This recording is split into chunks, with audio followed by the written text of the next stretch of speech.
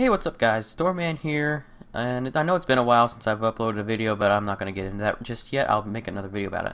But first, I want to show you how to get an awesome language toolbar you can use to type in other languages. You see, I have it set up for English and Japanese because I'm a Japanese student and I learned Japanese.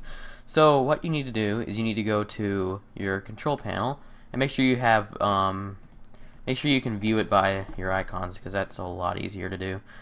Um, go to region and language because that's where you're gonna find it. Then go to keyboards and languages. Now, um, you go to change keyboards.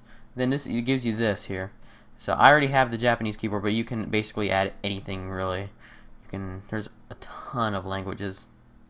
Like pro I don't know how many languages there are in the world, but these are probably all the most used languages. so yeah, I'm just I'll just like you know do the yeah I already have a Japanese keyboard so I'll just leave it at that. Yeah once you do that you just um, press apply and okay.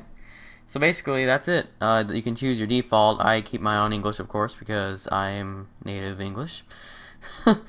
So yeah that's really all this video is. So I, I noticed that the other video that I made that showed people how to do something like up, update your graphics card that got a ton of views which is that video has more views than any vi vi video I posted on my channel.